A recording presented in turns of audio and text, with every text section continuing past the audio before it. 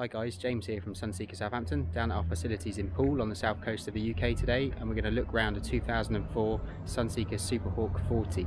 Uh, she's just behind me here. This is Skyfall. Uh, been in the UK since spring 2019. Previous uh, to that she was down in the Spanish uh, mainland and she's in uh, great shape. On the market currently at £105,000 tax paid a motivated owner, actually uh, an ex-Sunseeker International executive.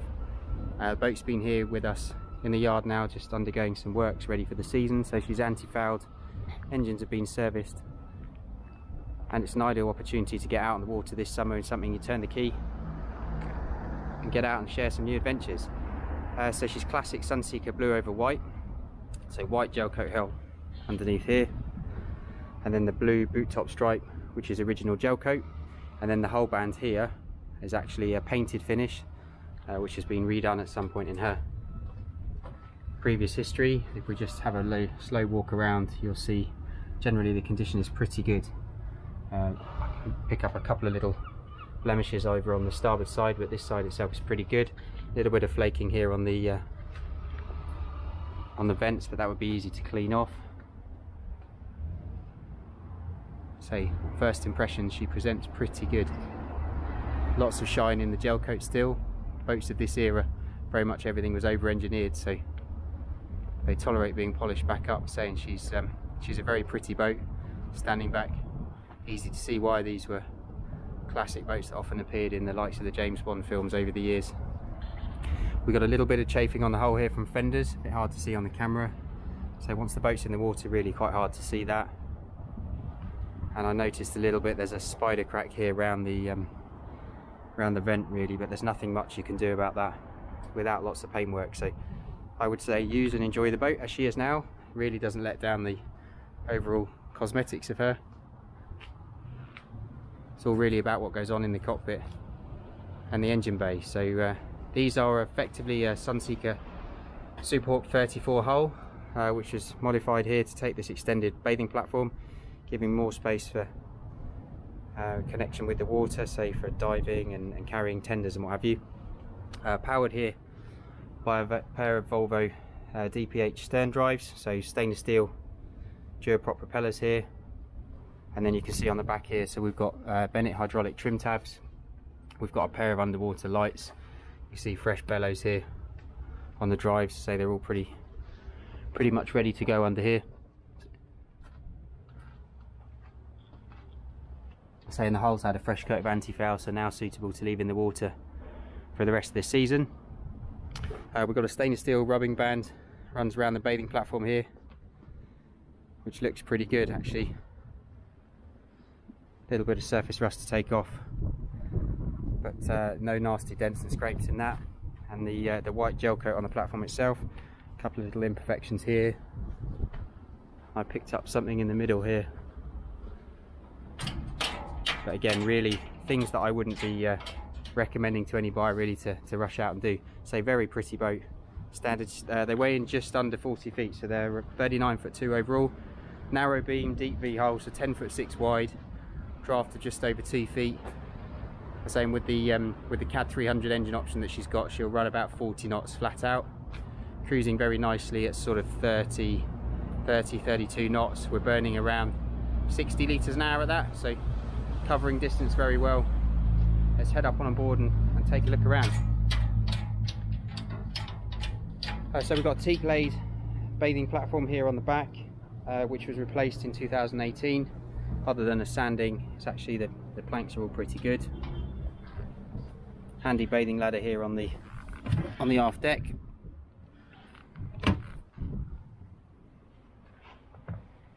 And again typical with age related marks on boats like this you see little cracks appearing in some of the gel around the uh, the hard shine areas but not much really to do with those. And let's head up forward take a look on the deck first. So got decks up both sides easy access to the foredeck. Uh, there was an option on these for a set of bow sunbathing cushions. This boat doesn't have them but you can uh, retrofit if you wanted to a pair of sunbathers in the middle there which would sit in between the deck hatches. You can see we really a racy look with these low um, pulpit rails. Not the most practical when you're walking around up here, but I have to say once it's in the water, it's worth it for the looks. A big anchor locker up here forward, handy to put fenders and what have you. So we've got a Lofrans electric winch, plenty of galvanised chain and a nice good sized delta anchor up forward there. With foot switches here on the bow and then again up on the uh, on the dash control if you're running short-handed. It's a great looking boat, so sleek. Really, Sunseekers of this pedigree we're very all about performance, great looks, good seakeeping.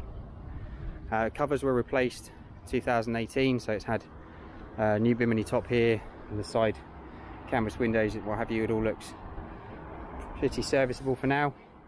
Uh, no radar on the boat, but we've got the option on the top here if you ever wanted to retrofit more nav kit. Fairly straightforward process to, to add a Raymarine or Garmin package, Simrad pack to suit. Uh, worth noting on the platform here, so the owner had had a pair of these um, Hurley davits purchased and so they fit on these two brackets on the back and allow you to fit a small tender sort of up to about a 75 kilos sat on the platform here. And he's actually got a small aluminium dinghy and an electric outboard which would go with the boat depending on the offer level. So let's head on inside yeah, you'll see immediately so the access is on the port side into the cockpit and we've got a nice teak laid gangplank here that takes us over the engine hatch and down into the cockpit. So we start on the port side, so we've got a wet bar arrangement here with a lift up lid that has the little sink with hot and cold running water. We've got a handy storage locker there. Upholstery again, classic Sunseeker blue over white. It's functional as it is, uh, there's a few marks starting to show its age now. It looks pretty original.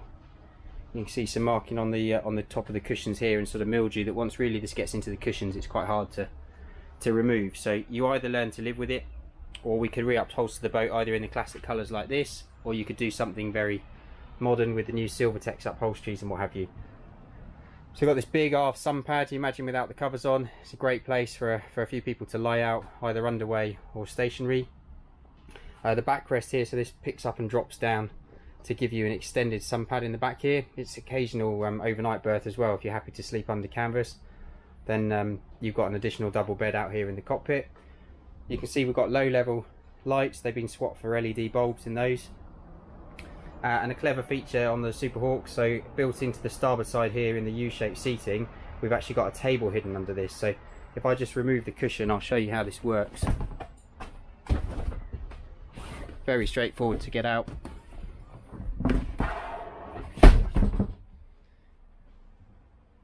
And there you have a good sized dining table. So we've got room then with a large U-shaped seat. Uh, there's room actually where I'm stood to add another couple of director's chairs if you needed to. So plenty of space for dining. Um, often see owners at this age to take the, the plastic top off and change this for a nice piece of teak. Looks very nice just with the hinge section in the middle here to allow it to fold back up again. So handy just doubles up as a coffee table and there's still plenty of room here for walking around if you want to leave that set up all the time. Uh, pretty much an original factory stereo I would say. So we've got Sony speakers up here on the arch and there's a, a head unit downstairs for the AV. Again lights up in the arch, they look like they've been changed for LED light bulbs. Um, just explaining the covers, so we've got side windows here, a windscreen panel and then a separate bimini. So we can take out this section and we can just have the bimini for sun protection whilst you're at the helm. And again, if I spin round and look aft, this is the bimini here, and then we can take out this side window, the rear curtain, and again that side to give us a nice open feeling. So we can get some protection, still uh, allowing the boat to run with covers up. We can enclose the full boat like we are now, or take the whole lot off if you really want to uh, to worship the sun, and the whole boat's then open, just with this real sleek uh, raked forward wind, uh, radar arch above us, I say which would take uh, nav kit if needed.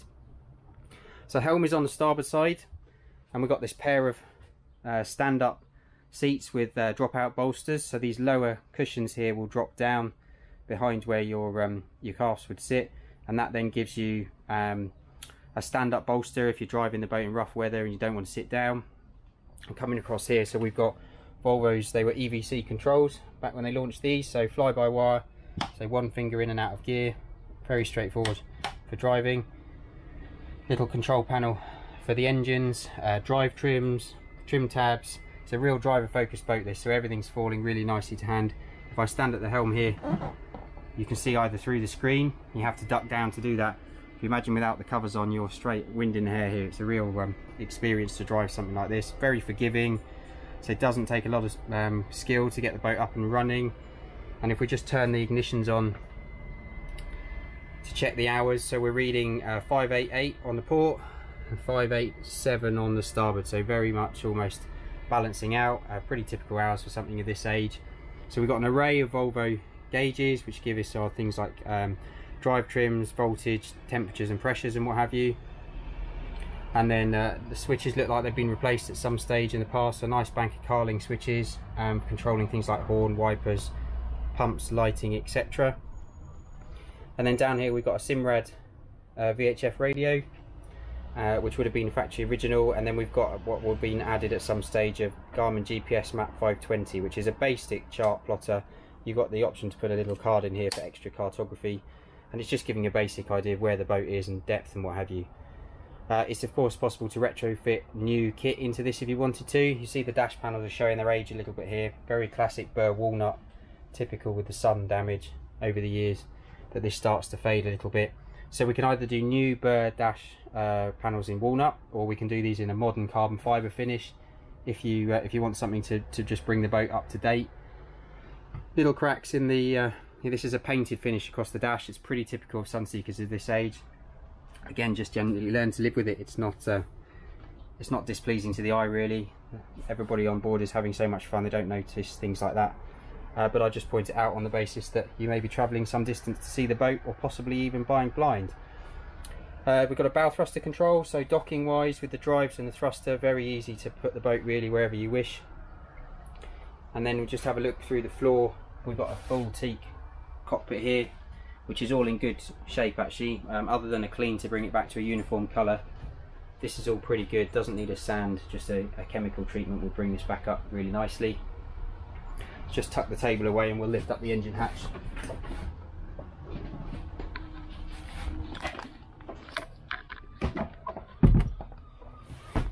I like to do these things with a video running rather than cutting the camera. It just gives you an idea of truly how long these things take to do rather than looking overly slick in typical sales fashion. Alright, uh, so we just pop the hatch up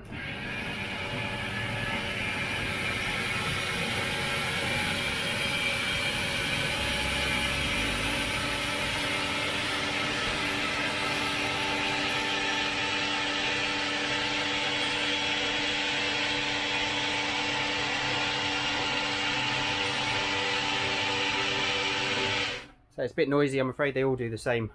It's a big um, hydraulic ram sat in the middle there. So if we just tuck our heads in aft here, you'll see a pair of twin 280 horsepower, uh, they're turbo and supercharged KAD 300 engines. Uh, they're seawater cooled into a heat exchanger and then the freshwater cooling through the engine itself. Uh, typical Sunseeker Hawk finish in here, so we've got the red flow coat finish on the uh, interior surfaces which just gives a little racy feel to the boat. Um, over on the port side of the boat so these are the battery boxes the chargers galvanic isolators what have you up on the on the bulkhead there. Um, there's a transom shower in the bag at the back there bilge blower midships and then down down here this is a hot water tank over on the starboard of the boat. And then the um, the fuel tank here is sat in the uh, in the middle of the boat for um, optimal work, weight balance. I'm saying she's running sort of 60, 65 litres an hour at cruise, um, up to around 110 litres an hour flat out with these engines, say getting on for around 40 knots. So quick boat, uh, nice little handy storage area here forward of the engines. The hatch does come actually right up, so there's plenty of room to get in there for um, maintenance and, and, checks and what have you. I have to say the KAD 300 is a pretty good engine. Um, we fitted lots of them into to many different models over the years. Volvo's most powerful engine at the time on those stern drives. So head on forward, let's go take a look inside the cabin. Uh, so immediately you'll see we've got teak steps as we come down into the cabin.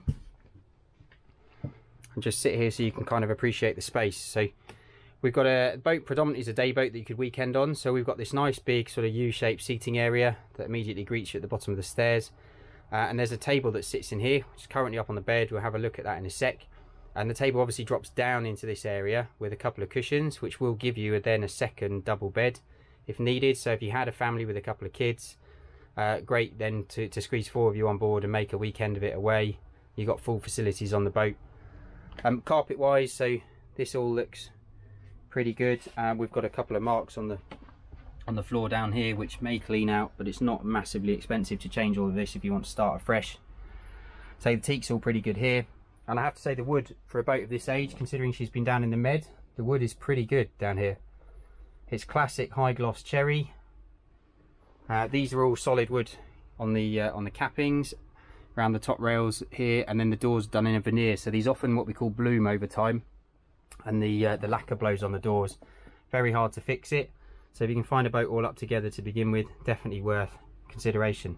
I say and I have to say this is pretty good. Uh, classic again Sunseeker colours. So we've got cream upholstery here on the sofas which other than a good clean actually I have to say for the year is pretty good. Nothing really to do down here other than those carpets. I'd be leaving this all well alone and just enjoying the boat for what she is.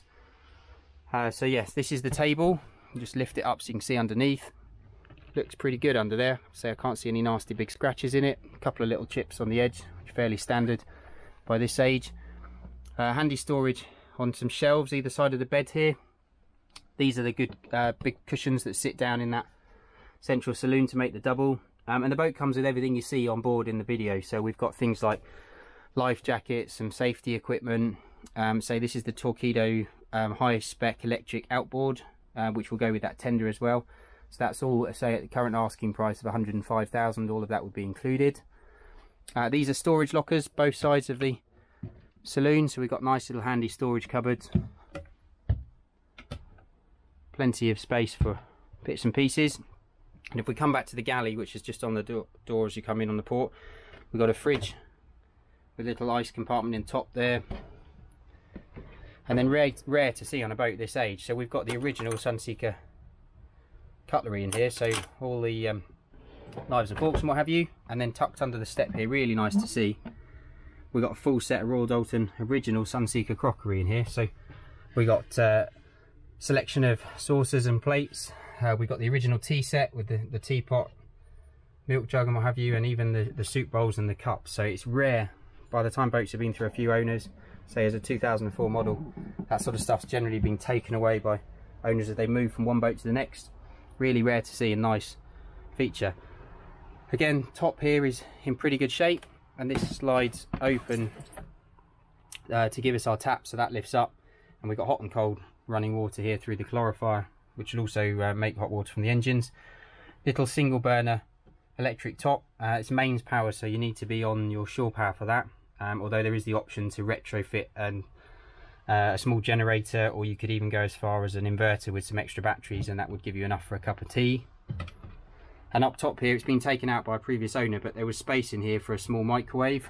So that's not difficult to retrofit one if you wanted the ability to do a little bit more in the way of cooking whilst you're on board. So headroom's not bad. I'm just under six feet and I can stand up just as I come through the door. Obviously with that sloping bow, it does get a little bit tighter down in the bed area, but still plenty of room to climb up. And you can see there's a, there's a hatch up there for natural light and we've got a couple of little port lights up in the roof here which open to let ventilation in. You see a head unit up here, we've got a, an aux plug-in for a USB or a, a jack for, uh, for an iPhone. Space here for a little flat screen uh, TV would sit in here if you so wish. And there would be, um, as an option in here, you would have had a little Glomex uh, TV booster. So we could add stuff like that if you really wanted to make the boat creature comforts for staying on board any length of time. Uh, so we've got a mains and battery domestic uh, control panel here for all the various systems on the boat. It's all nicely labelled, easy to see how the boat's set up when you first come on board and then leaving at the end of a weekend. And then in this heads compartment, you see it's actually quite a usable little space. So we've got a um, electric Jabsco toilet here, so a little bit of storage underneath the, the worktop. Good size sink with uh, this handset pulls out and then you've got a shower curtain just here which would come round and it gives you the basic facilities to allow you say to stay on board for a weekend A bit more storage up there behind the mirrored panels. So all in all, say it's a very um, very usable weekender. Some owners very happy to go off venturing for a couple of weeks across the south coast or down in the down in the Mediterranean. So it's a real classic boat, the Superhawk 40. Uh, hold their price really well, have been worth pretty much the same sort of money for the last few years, haven't changed at all. Um, in terms of preparation for um, completing a deal, really we would suggest anybody purchasing a boat from us second hand would be uh, looking to have a survey done, check the integrity of the boat is all as they expect, and that can all be done in a matter of days now. So very easy to turn this into uh, a usable boat on the water, take advantage of the, the summer season here in the UK, or they're small enough to stick straight on a lorry and set uh, south, so off to the, um, I say the Balearics or, or mainland Spain, France, what have you. Really very easy to do. Just going to drop the hatch back down and we'll go off and have a, a final look around the outside.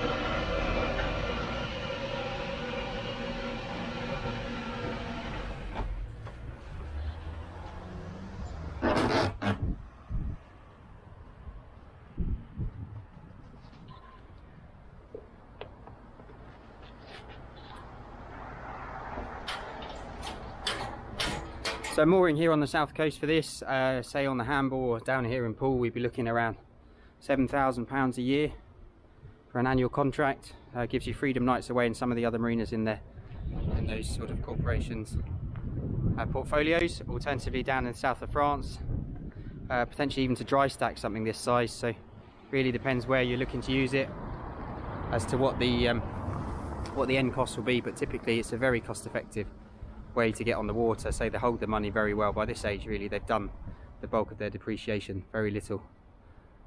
You'd be unlikely or unfortunate to have any big uh, you know unexpected costs on something like this. So say if you'd like to find out any more information my name is James from Sunseeker Southampton. Mobile is plus 44 7747 686 587 or it's james.lumley at sunseekersouthampton.com send you a full portfolio of photos, full specs, uh, talk you through title documents, etc. Uh, on this yacht, or if there's anything else in the range you think might be more suited, uh, please get in touch.